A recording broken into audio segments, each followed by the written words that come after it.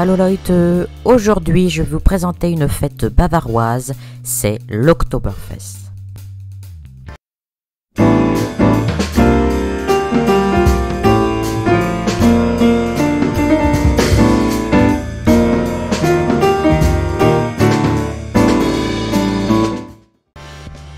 Avant la création de l'Oktoberfest, les fêtes de la bière étaient déjà courantes en Bavière et dans le reste du monde germanique. En effet, elles permettaient de déstocker la bière brassée en mars, dite Märzen, avant le commencement de la nouvelle saison de brassage.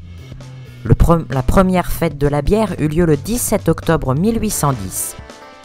Le 12 octobre de cette année, pour que le public honora leur mariage, le prince héritier futur Louis Ier de Bavière et la prince Thérèse de Saxe-Hildburghausen firent organiser par Andreas Michael Dal Army une grande course hippique cinq jours après leur union dans une prairie sous les murs de Munich.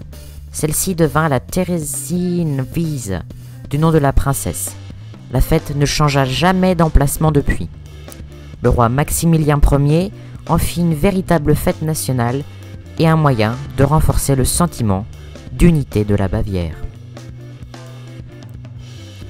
L'association agricole bavaroise Landwirtschaftliche Verein in Bayern fut fondée en 1810 avec pour objectif d'améliorer les pratiques techniques agricoles dans le royaume. Elle permettait également de rapprocher le souverain de ses paysans, autrefois méprisés, et de mettre en œuvre sa politique du souverain éclairé. Le 14 octobre 1811, l'association organisait la première foire agricole centrale sur la Theresienwiese sous le nom de Central Landwirtschaftsfest, CLF.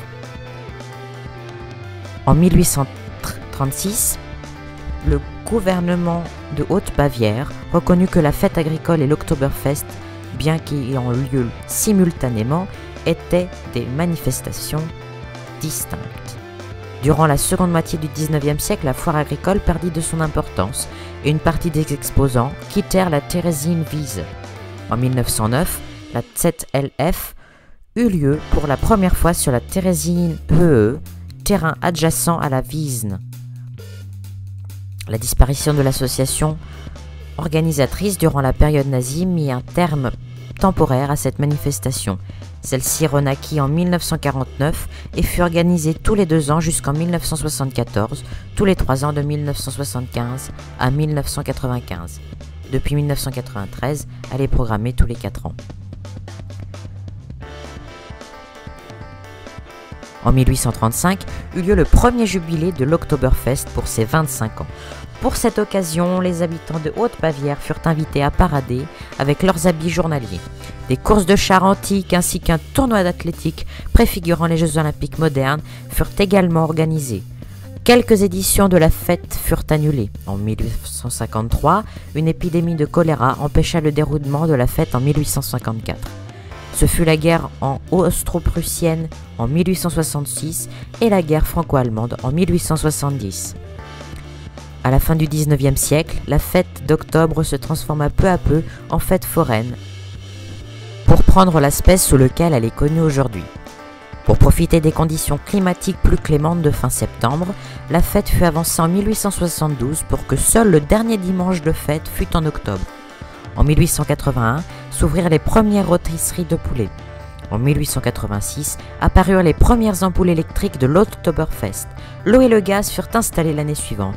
La première grande tente fut construite en 1895 sous le nom de Zum Winzerer Fendel. D'autres suivirent et en 1907, six grandes tentes furent installées par les brasseries munichoises. En 1898, par Bernhard Dietrich, écrivit la chanson pour trinquer, célèbre sur l'Oktoberfest. Ein Prosit der Gemütlichkeit, ein, zwei, drei, Xufa, dont le titre se traduit par santé, convivialité. 1, 2, 3, c'est bu